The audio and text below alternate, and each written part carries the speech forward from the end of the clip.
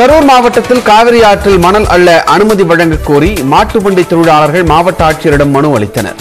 கடந்த சில ஆண்டுகளாக மாட்டுவண்டி மூலம் மணல் அல்ல அரசு தடை விதிக்கப்பட்டிருக்கக்கூடிய நிலையில் தங்கள் வாழ்வாதாரம் பெரிதும் பாதிக்கப்பட்டுள்ளதாக மாட்டுவண்டி தொழிலாளர்கள் வருத்தம் தெரிவித்துள்ளனர்.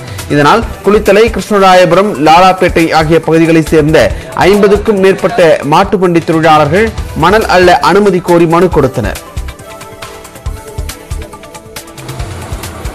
திருவண்ணாமலை மாவட்டம் ஆரணியில் அதானியை கண்டித்து காங்கிரஸ் கட்சியினர் கண்டன ஆர்ப்பாட்டத்தில் ஈடுபட்டனர். ஆரணி டவுன் தச்சூர் சாலையில் உள்ள எஸ்பிஐ வங்கி முன்பு ஐம்பதுக்கும் மேற்பட்ட காங்கிரஸ் கட்சியினர் மத்திய அரசை கண்டித்து கோஷங்களை எழுப்பினர். எல்ஐசி மற்றும் எஸ்பிஐ ஆகிய நிறுவனங்களில் மக்களின் முதலீட்டு பணத்தை கடன் வாங்கி அதானி நிறுவனம் மோசடி செய்திருப்பதாகவும் அதற்கு விளக்கமளிக்க வேண்டும் எனவும் தெரிவித்தனா்